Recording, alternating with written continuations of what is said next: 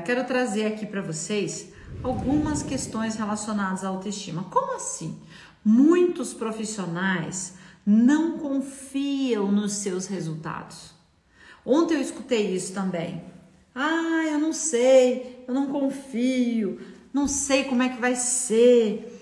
Será que eu consigo? Gente, Alguns dizem assim: ah, eu não tenho apoio, né? O paciente às vezes também fala isso. Ah, ninguém me ajuda, eu tô aqui sofrendo e ninguém faz nada.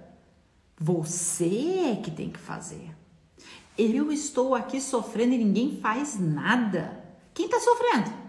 Não é o paciente? Mas você tá vendo como às vezes a gente quer que alguém fique mimando gente, vai lá, faz uma consulta, vamos agendar, vamos marcar, vamos fazer isso, vamos fazer aquilo. Isso eu tô falando da família, tá, gente? Eu quero dizer para vocês que vocês têm que ir além disso. Essas são objeções que o seu paciente vai colocar muitas vezes.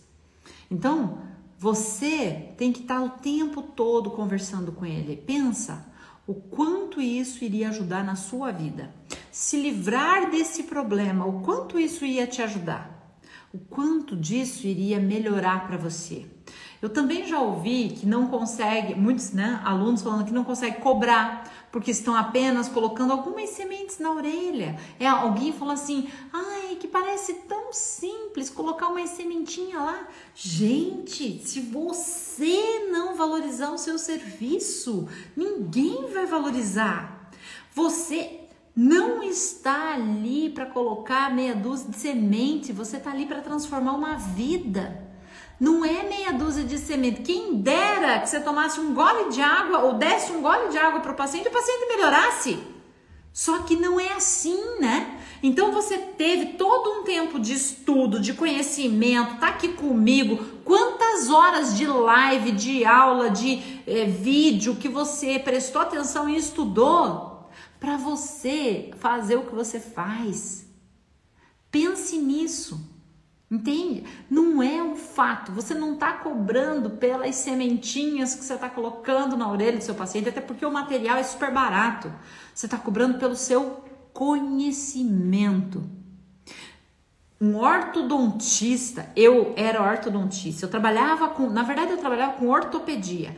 E era meia dúzia de fio enrolado ali, que a gente fazia dobras, botava acrílico, moldava o paciente, fazia de acordo com a boca do paciente.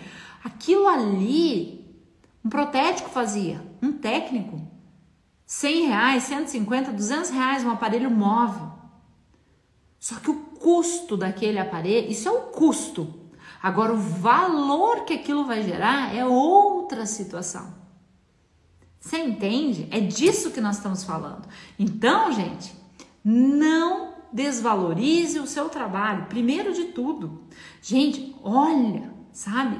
Olha que ponto nós chegamos desmerecermos nós mesmos. Ah, vem cá que eu vou te botar meia dúzia de pontos. Ah, vem cá que eu vou te botar uns pontinhos e já melhora. Não. Vai além, se valorize. Nós precisamos mudar essa forma de pensar aprender a valorizar a técnica que a gente está fazendo, nosso tempo de estudo, né? O seu conhecimento, o seu esforço. Gente, isso não tem a ver com sorte. Ah, não tem a ver com acreditar. Mãe, você tem que acreditar para as coisas acontecerem. Não! A auriculoterapia independe de você acreditar, porque é uma técnica científica embasada em artigos científicos que quando você põe um estímulo, desencadeia todo um processo neuroquímico dentro do corpo do seu paciente. Seu paciente não precisa nem acreditar que isso existe. Você não precisa nem contar que você está fazendo auriculoterapia. Você fala, eu vou fazer uma técnica que vai passar sua dor, que eu vou diminuir sua dor, que eu vou equilibrar você. Você está em desequilíbrio. E aí uma pergunta que me fizeram hoje, mas Lirane, depois que eu faço auriculoterapia, o paciente eu vou ter que fazer sempre? Que, que você responderia? Já pararam para pensar como você responderia? Sabe como você responderia? Como você deveria responder? Faz uma contra-pergunta.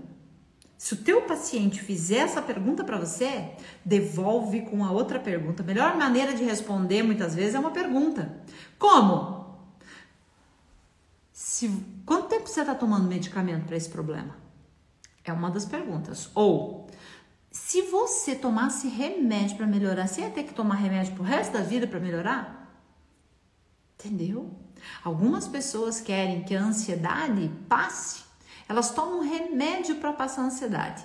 E aí pergunta: fazendo auriculoterapia, eu vou ter que ficar fazendo auriculoterapia o tempo todo? Se você está com ansiedade, você vai ter que tomar remédio o tempo todo? Ou você vai aprender a lidar com a sua ansiedade e se equilibrar. Esse é o processo da auriculoterapia, gente. Eu vou entrar em equilíbrio. Sim, porém, se eu não abandonar os hábitos que me adoeceram, eu vou continuar doente. O que está me deixando doente? Ansiedade. Ah, mas a culpa é da pandemia. Mas com certeza não é. Cai na real. Isso é a desculpa que você dá. Ah, nossa, mas é muito. Gente, você fica ansioso com qualquer coisa. Pensa na sua vida. Eu não sei, eu tô falando no geral, tá? Não tô dizendo você, você aí que tá me ouvindo. Tô falando na pessoa que tá ansiosa e daí arranja desculpa para tudo. Uma hora é a pandemia, outra hora é morte não sei aonde, terremoto, catástrofes em geral.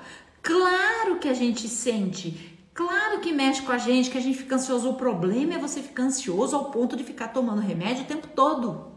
Ai, eu sou muito ansioso, sou muito ansiosa. Tá na hora de mudar. Isso não é um rótulo. Não vista essa carapuça, não vista isso e diga assim: "Ah, eu estou, eu sou ansiosa". Não, você está ansioso. Você tem como controlar. Cabe a você procurar ajuda e mudar isso também.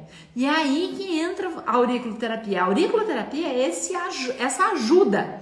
E você tem que fazer a sua parte. Então, gente, a auriculoterapia ajuda na ansiedade? Muito.